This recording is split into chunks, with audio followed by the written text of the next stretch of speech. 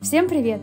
Сегодня мы поговорим, как выбрать саженцы туи и где их лучше посадить. Вы на канале питомника растения Каплант, ставьте лайк этому видео и подписывайтесь на наш канал, чтобы не пропустить новые выпуски. Туя это вечно зеленое и очень неприхотливое растение, именно поэтому так полюбилось среди садоводов и ландшафтников. Применяют ее в одиночной посадке и в групповой. Вы можете использовать ее в качестве живой изгороди или топиария, а посадка и уход за ними не требует никаких знаний и усилий. Итак, сейчас поговорим поговорим про самые популярные сорта туй, а именно Смарагд, Брабант и Колумну. Весь ассортимент туй вы можете посмотреть в каталоге питомника растений Каплант, я оставлю ссылку прямо под этим видео. Итак, поговорим про тую смарагд. Смарагд это сорт, у которого ветви растут вверх и хвоя изумрудного цвета. Она не меняет свой цвет ни зимой, ни летом, а шишки у нее темно-коричневые. Крона обычно у смарагда пирамидальная и очень хорошо держит форму. Она плотная, симметричная и без растущих хаотично веток. Если вы не хотите заморачиваться, то рекомендую обратить внимание именно на смарагд. Ее практически даже не нужно стричь, чтобы поддерживать форму. Дерево достигает 10 метров в высоту, а в диаметре диаметре до 2 метров. Данный сорт плохо переживает засуху и застой воды, поэтому обязательно регулярно поливайте летом. При этом смарагд хорошо также переносит русскую зиму, и у нее морозостойкость до минус 35 градусов. Можете ее использовать в качестве самостоятельного декоративного растения на участке, либо же в составе живой изгороди. Следующий сорт, про который мы поговорим, это Брабант. Сорт отличается ярко-зеленой хвоей и также не меняет свой цвет вне зависимости от сезона. Его отличительная особенность особенностью является быстрый рост. В среднем за год это растение прибавляет до 30-35 см в высоту и достигает 8 метров на пике своего роста. Он очень неприхотлив к климату, может расти в тени и на солнце, и также не требует обильного полива. Морозостойкость у брабанта будет примерно такая же, как у смарагда, до минус 35 градусов. Ветки у него будут короче, но пышнее. Чтобы придать и сохранить пирамидальную форму, вам потребуется его регулярно обрезать. Далее переходим к колумне. Колумна Колумна максимально неприхотливый сорт туй с ярко-зеленой хвоей. Она меняет свой цвет в зимний период на темно-изумрудный. Крона у данной туи колоновидная, а не пирамидальная. Именно поэтому и называется колумна. Колумну сажают преимущественно вдоль аллеи или также в составе изгороди с промежутком примерно 0,5 метров. Морозостойкость у данного сорта до минус 30 градусов. Во взрослом состоянии достигает 10 метров, а в диаметре где-то полтора метра. Сорт плохо переносит засуху, поэтому в жаркое лето я рекомендую рекомендую обильно поливать. Остановимся подробнее на том, как же выбрать саженца. Ни для кого не секрет, что посадка и уход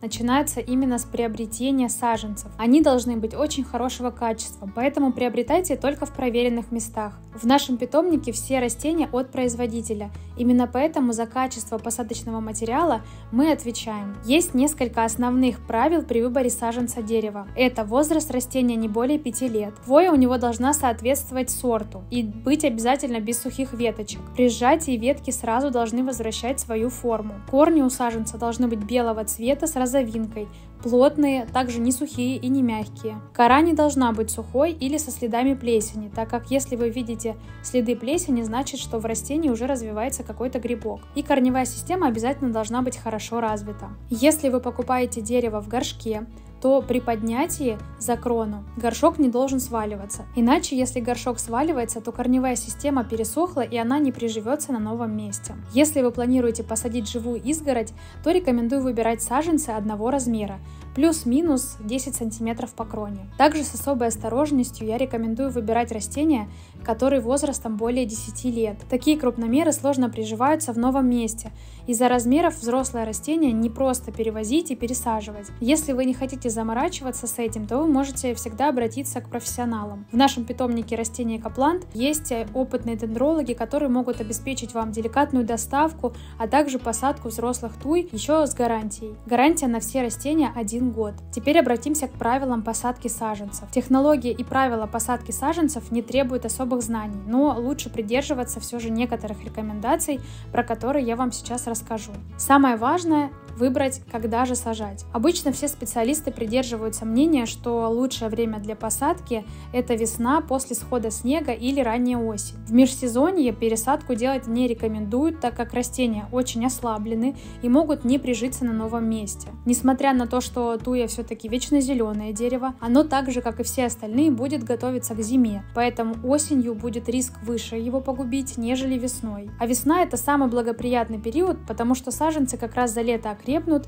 пойдут в рост и хорошо укоренятся. В нашем питомнике туи обычно продаются с закрытой корневой системой. Именно такие растения уже находятся в камах, и они очень хорошо приживаются. Время посадки будет практически любым в рамках сезона, ну исключая, конечно же, самую сильную жару. Итак, мы определились с вами, когда правильно посадить тую, когда лучше ее посадить. Теперь определимся с почвой и расположением. Место для посадки вам необходимо продумать заранее, а также необходимо определиться с количеством саженцев, чтобы не покупать лишнее. Если вы планируете живую изгородь, то правильно сажать примерно на расстоянии 0,5-0,7 метров друг от друга. Итак, почва для западных сортов обычно подходит кислая. В ней туи могут получить как раз таки достаточное количество питательных элементов для роста и не погибнут в процессе укоренения. Туя смарагд и брабант очень хорошо чувствуют себя на глиняной почве. При посадке саженцев в открытый грунт в этом случае должны быть по технологии, чтобы растения чувствовали себя нормально и сразу же пошли в рост. Обязательное условие – это отсутствие сквозняков в месте посадки. Сторону для посадки вы можете выбрать как солнечную, так и теневую, в зависимости от выбранного сорта. Что самое хорошее, у всех хвойных растений хвоя выделяет фитонциды в воздух.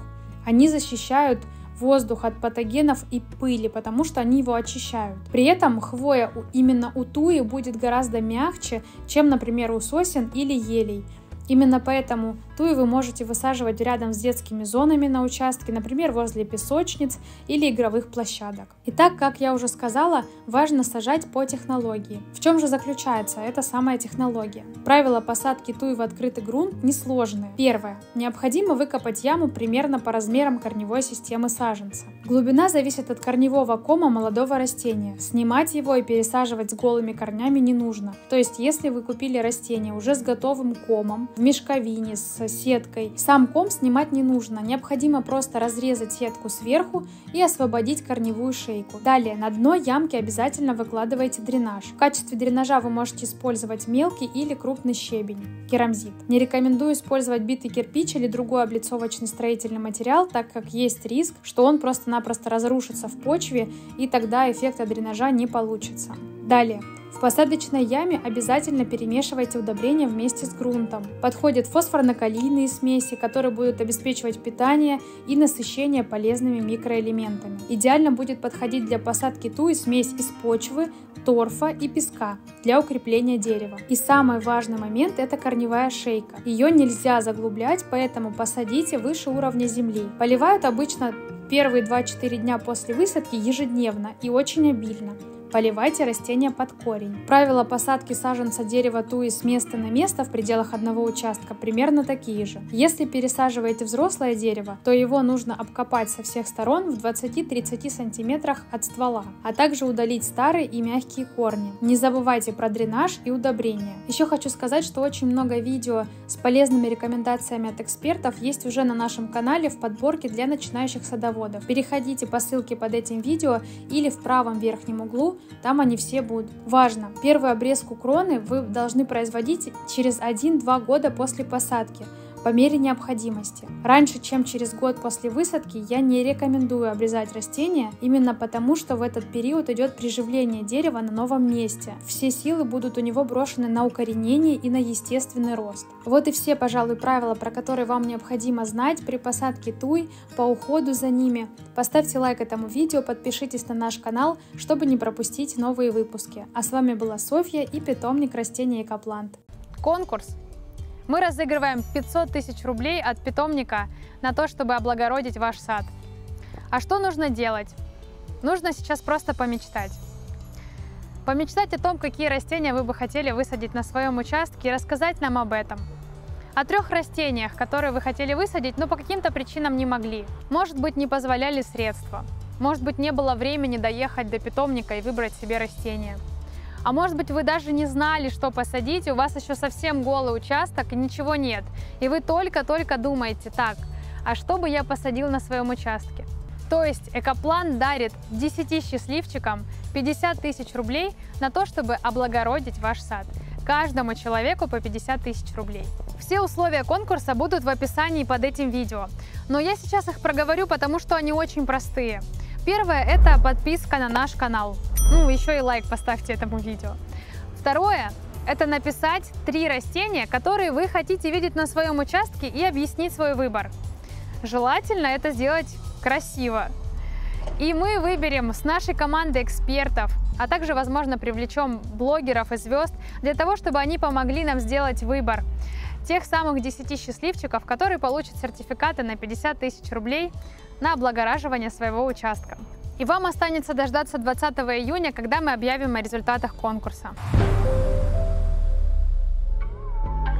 Я так хочу себе ель, хочу голубую, хочу себе две. Я так хочу себе туй по периметру посадить во дворе. Я знаю, где все это взять, чтобы с доставкой, чтобы с посадкой. Хочешь хоть вишневый сад, хочешь ландшафт с бонсаем и травкой.